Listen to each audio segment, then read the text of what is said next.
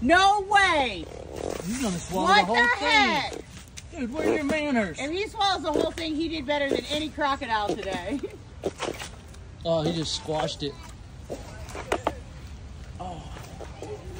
Merry Christmas, big fella. Oh, look at that. Oh! Oh, then he broke the bone. Oh my gosh!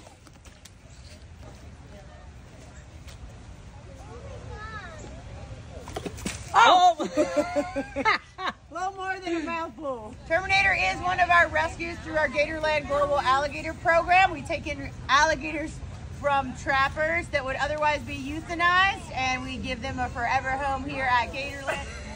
He's trying to make room. Get it on down there, Terminator. You got this, buddy.